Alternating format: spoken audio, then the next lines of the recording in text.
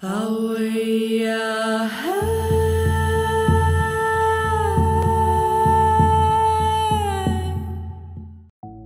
is little doubt our oceans are rising and cities will go under. It is no longer an issue of if, but when it will happen. No one can predict exactly when. However, based on simple elevation maps, we can predict which major world cities are most likely to be underwater first. Recently, the Swiftest, a San Francisco based travel insurance service, published a list of the 36 world cities that will likely be underwater first. To find such cities, the Swiftest research team used the Coastal Risk Screening tool. This is an interactive map that allows users to view maps by risk area, created by Climate Central, an independent organization of leading scientists and journalists. The team started by using a simple water level map to demonstrate the conservative estimate of 1.5 meters sea level rise for the next decades. Given current projections, 1.5 meters is a realistic estimate that will most likely occur within the next 80 years. The team then used Euromonitor to identify 36 of the most visited cities in the world that will be affected by sea level rise. They ranked these cities by population to highlight the most at risk destinations that will have the highest displacement of life as we know it. Tokyo, the most populated city in the world, leads the rank, with more than 37 million residents.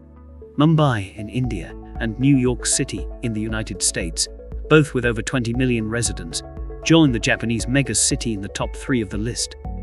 They are followed by Osaka in Japan, Istanbul in Turkey, and Kolkata in India.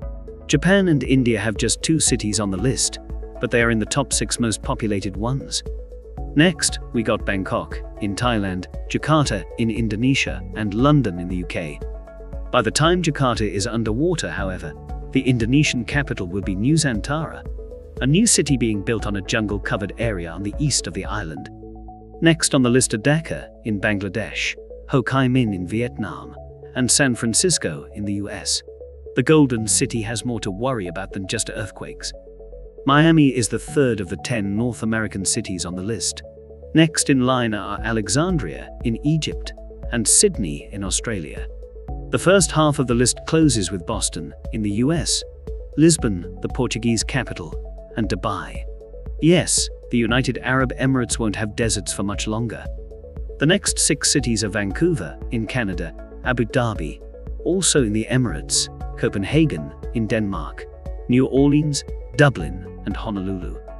Of course, Amsterdam in the Netherlands and Venice in Italy would have made the list. They are ranked 25 and 27, while Cancun, the popular Mexican tourist destination, is ranked 26.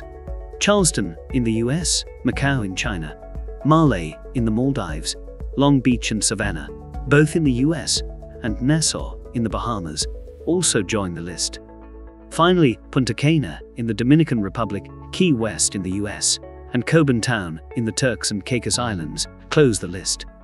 In these 36 cities alone, over 226 million people will be directly impacted in the coming years. According to NASA, the NOAA, and other science advocacy groups, it's not too late to slow or prevent much of the devastating effects of climate change, and maybe stop these cities from joining Atlantis. But the clock is ticking. So, is your city one of these 36? Maybe you should start thinking of buying a boat. Thank you for watching. Alan Ivy for the Neutronium Alchemist. And please, don't forget to subscribe.